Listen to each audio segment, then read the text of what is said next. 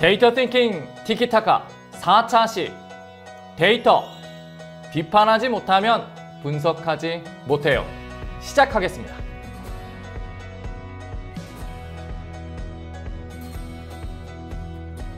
네, 여러분 안녕하세요. 4차시 데이터 비판 역량입니다. 자, 비판한다라는 것은 모든 기획 역량의 가장 기저를 형성하는 매우 중요한 역량이죠. 왜냐하면 비판하지 못하면 분석하지 못하기 때문입니다. 우리 이런 말이 있죠? 고기도 먹어본 놈이 잘 굽는다 라는 말이 있듯이 고기를 평소에 많이 먹어본 사람일수록 내가 어떻게 구워야지 고기가 맛있고 그렇지 않은지를 알 수 있습니다. 데이터 분석 역시 마찬가지예요. 다른 사람이 가지고 있는 데이터나 내가 입수했던 데이터를 요리조리 비판하지 못하면 내가 분석을 할 때 어떤 건 살리고 어떤 건 줄이고 어떤 건 힘을 주고 어떤 건 힘을 빼야 되는지 자체에 대한 감각을 갖지 못합니다. 그래서 처음부터 분석 기획 역량을 바로 훈련하시기보다는 이 비판 역량을 단단히 하시길 추천드립니다. 자, 그러면 제가 주어진 상황에 맞게 문제를 마련했기 때문에 그 문제를 풀어가면서 한번 비판 역량 훈련해 볼까요? 자, 주어진 상황은 이렇습니다. 당신은 학교 폭력 문제에 대해서 고민을 하고 있는 담당 공무원입니다.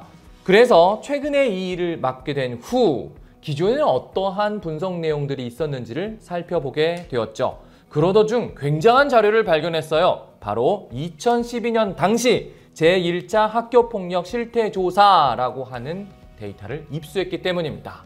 이 데이터를 보면 거의 우리나라의 모든 학교를 대상으로 해서 학교의 폭력성 정도를 실태 조사했습니다. 자, 조사의 개요에 대해서는 제가 화면으로 따로 구성을 했기 때문에 그 내용을 한번 보고 오시도록 하겠습니다.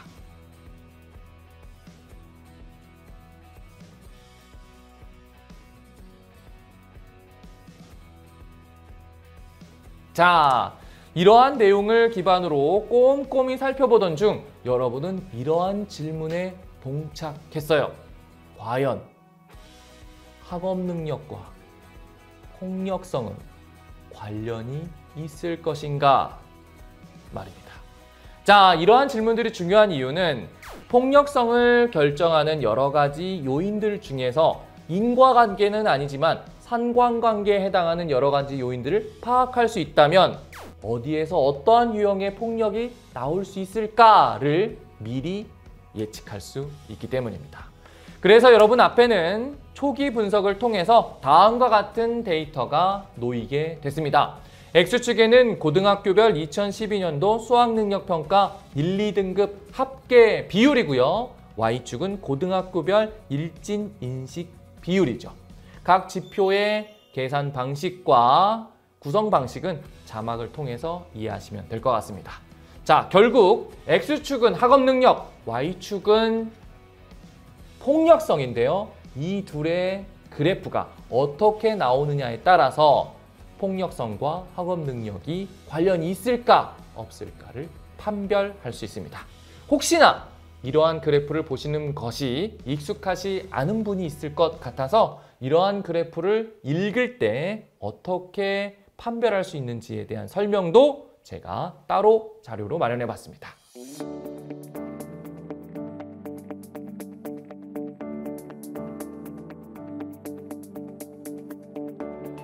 자, 그러면 이러한 이해들을 바탕으로 지금부터 이 문제를 풀어볼까요?